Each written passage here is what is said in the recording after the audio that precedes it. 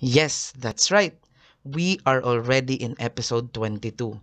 And we are here to discuss about the presentation related questions of liabilities. Again, let me make it clear, liabilities. And not only the loans payable. Well, actually guys, all the possible questions that we have discussed so far are all applicable to other liabilities like notes payable or bonds payable and other liabilities. Now, if you are new to this series, please watch the previous episodes first so that you can relate with this video lecture. So their links are on the description below or you have another option, you can go to my channel and playlists and click on accounting for notes, loans and bonds series. But if you're done watching those, then let's get started.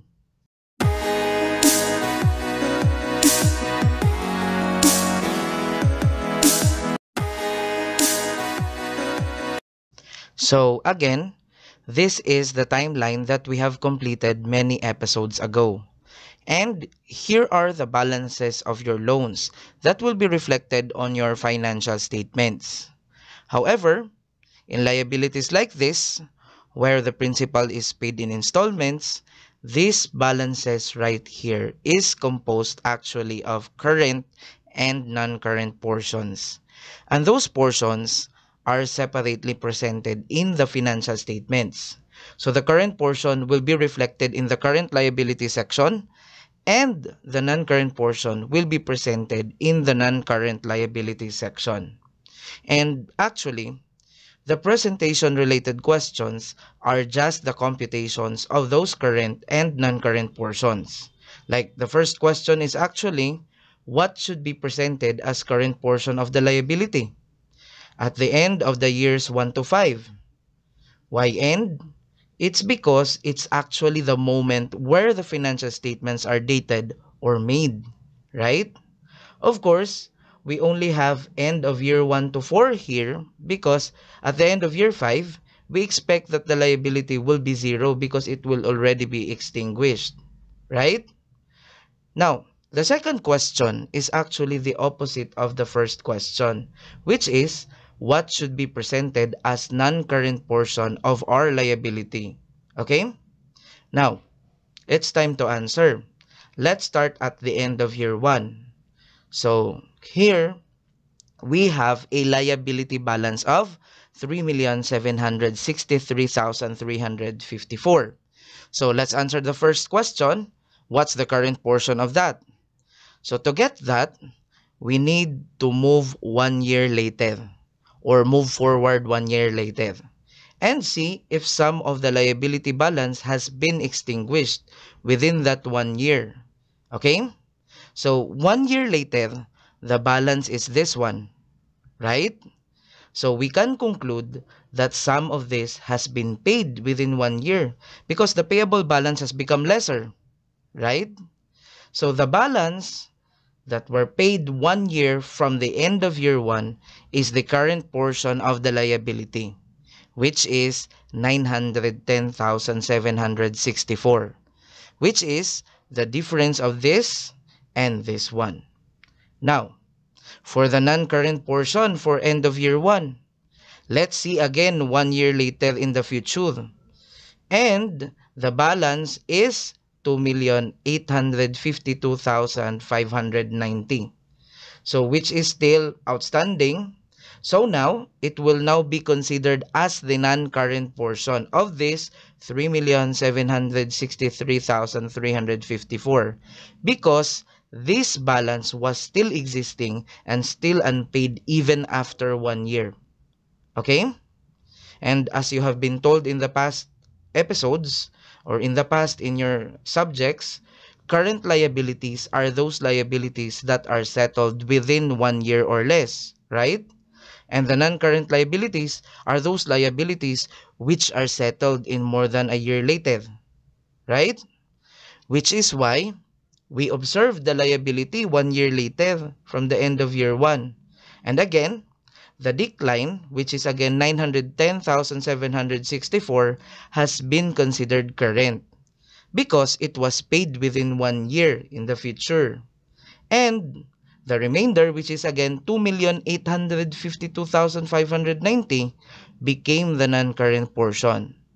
So, in presenting the loans at the end of year 1, this 3,763,354 balance will be split. So, the 910,764 will be presented in the current liability section and this 2,852,590 will be in the non-current liability section. So it's just like that. Okay? Now, let's complete the end of year 2 to 4 current and non-current portions after this.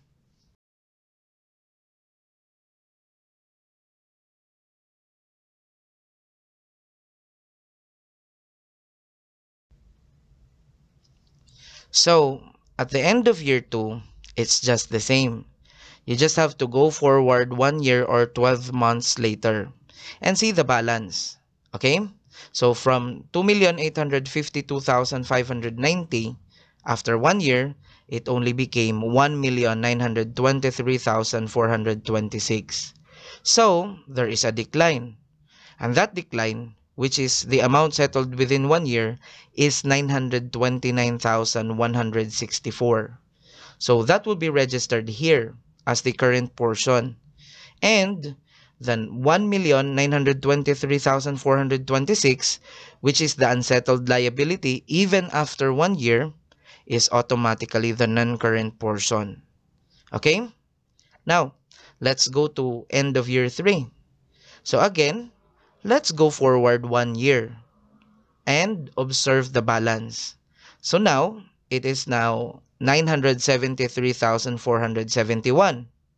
So, 1,923,426 minus this 973,471, which is 949,955, will become the current portion at the end of year 3 and this unsettled 973,471 will become the non-current portion. Okay? Last is we have at the end of year 4. Again, let's go forward one year later. Well, the balance here is supposed to be 0 after one year, right? 22 is just here because of problems on rounding of factors. So again, Let's assume that this is 0 here. So, it can be concluded that this whole 973,471 was paid after one year or payable after one year.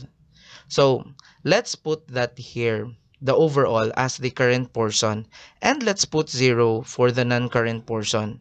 Because again, everything in this balance is already payable within one year. Okay? So that's how you separate the current and the non-current portion for liabilities. Now, guys, in addition to that, I have an additional information. If the principal is only paid once at the end of the maturity term, then expect that there will be no current portions at the earlier years. All will be presented as non-current unless it's already one year before the principal payment. Okay? Like in this example, we have in this series, we have 5 million principal to be paid, right? But it is to be paid um, 1 million each year. What if this principal is to be paid all at once in year 5? So, you can conclude that at the end of year 1 to year 3, there will be no current portions of the payable. All of the 5 million balance or any liability that will be computed will be presented as non-current. But if we talk about the balance at the end of year 4, which is one year before maturity, then the liability balance will now be fully presented as current because it is already scheduled to be paid within one year. Okay?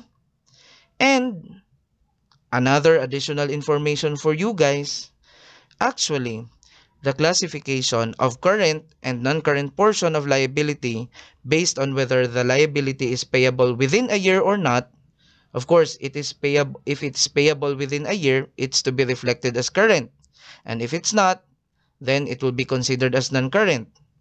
That particular standard is only applicable to liability accounts not related to operations, like this loans payable account that we are considering in this example. Okay? So, what do I mean? Let's elaborate. Loans payable account is normally related to financing activity rather than related to operations. Like for example, if you are a manufacturer of wine, your operations are related to the manufacture and selling of wines, and loans payable to a bank is a little bit far from your operations. Okay? Let's elaborate further. The loans payable is very different from liabilities related to operations, like payable or liabilities to your suppliers because your suppliers provided you with raw materials for manufacturing process. And it's very far from other examples of liabilities related to operations like unearned revenues from your customers who paid in advance for your services or products, or salaries payable to your workers, or income tax payable or tax liabilities, or notes payable to your suppliers, and the like. So, the standard for classifying the liabilities related to operations as either current or non-current is very much different. And we're going to talk about that in the next episode to keep this video short, okay? So if you've learned, please click like, subscribe, and hit the notification bell and select all to be updated on my next videos. So again, thank you for watching and see you on the next one.